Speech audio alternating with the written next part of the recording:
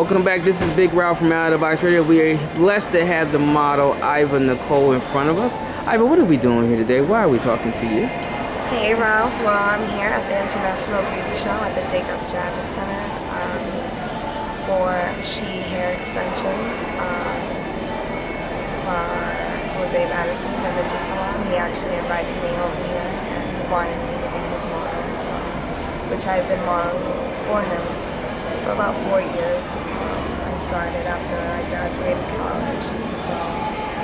Yeah. No, I'm gonna be talking to you like I don't know you. I do know you, so let's be um I could be a little more relaxed with you.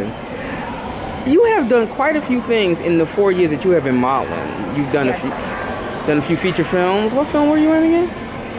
Um, well, I was in um, Business is War, which was an independent film, but it was an HBO film festival, and only 35 films. So that was um, a good film to be in. I had a really nice weekend. Um, and also I did um, What's Your Number in um, Anna Faris. Anna Faris. Um, I actually had um, bridesmaid um, role, so that was cool.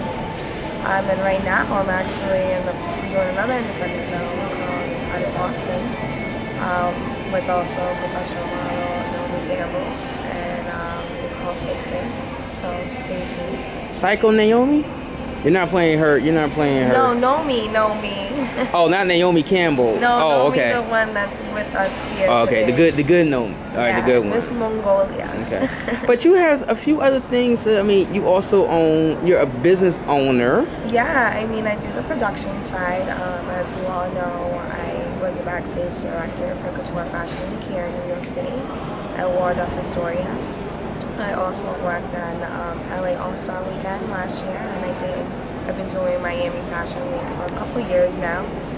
Um, and now, last year, I started my own store with um, Jimmy King, who is Vice President of Boutique Management and also CEO of Straight Up Entertainment.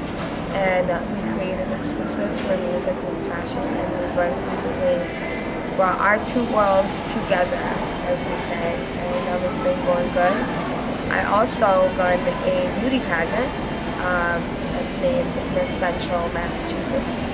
It's a preliminary to Miss Massachusetts USA. Uh, my partner, Alida D'Angona, uh, Miss Massachusetts 2011. Um, it's, a, it's our third year, and uh, basically the winner goes to Miss Massachusetts to represent um, Central Mass, which Central Mass is um, 60 towns that make up Central Mass. So, you know, other than being a model myself, I am in the business um, part of it. Uh, and it's just going great, you know. Um, working really hard. And um, to stay updated, if any girls want to enter in the Massachusetts area, you could um, visit the website, Miss Central Massachusetts, um, Facebook, Miss Central Massachusetts, um, and Twitter, Miss Central Mass. And the same for exclusives, um, exclusives music meets fashion on Facebook and on Twitter, it's Exclusives Inc. And um, yeah, I'm really honored to be here. Um, and like I said before, it's uh, been a long, hard four years of hard work. I'm not where I want to be, but um, I'm definitely working every single day um, to be at that level. Okay. Now I'm gonna ask you a question because we are out of the box. We have the name for a reason. A lot of times we ask people questions that's totally out of the box. So this is your question.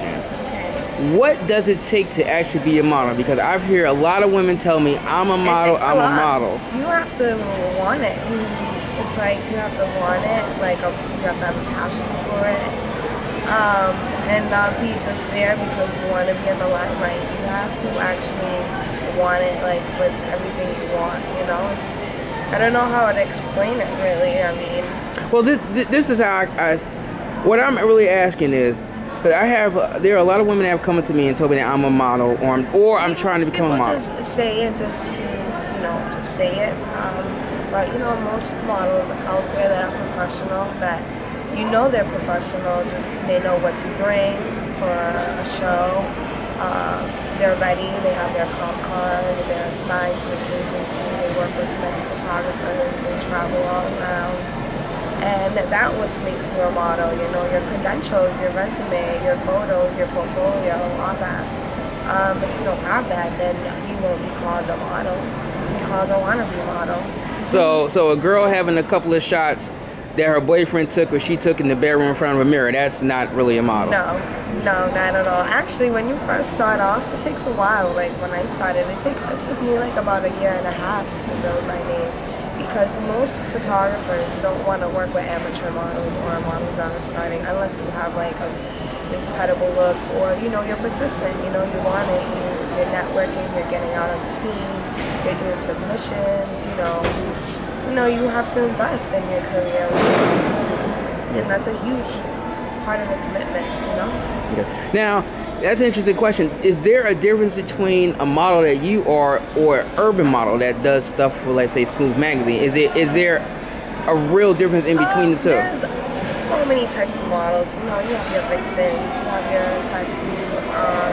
models, hand models, feet models, plus size models.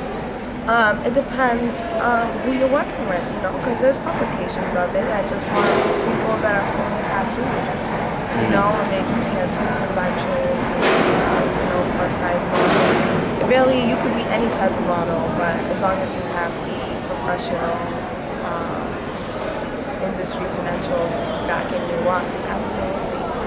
You know, it doesn't make a difference if you're a Black Men's Magazine or Vogue. A publication is a publication. But I was just curious the, when, when when it comes down, if you start off, well, like this, if you start off modeling in Smooth Magazine, and then you do some music videos and you do what we like to say straight Sutton, do you get pigeonholed in just that particular type of category? Is it is it possible it for you to depends trans? how you carry yourself. Mhm. You need to know, excuse me, um, you need to know what you want to do, you know?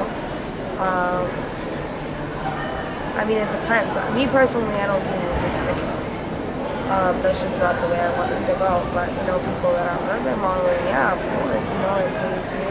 It depends what route you want to go. Everyone's different, you know? I have a different vision.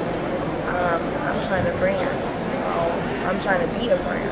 So I'm looking at it from really different perspective. I'm not just doing it just to, you know, have a few, you know, here and there. You know, I'm doing it because this is what I want to do, and I want to leave a mark before I leave.